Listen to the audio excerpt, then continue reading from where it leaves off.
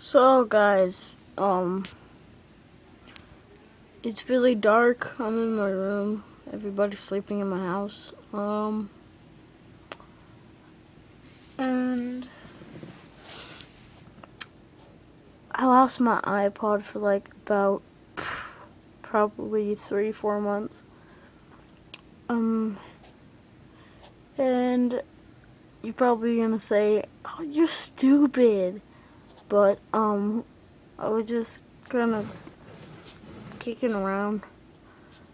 And then I uh,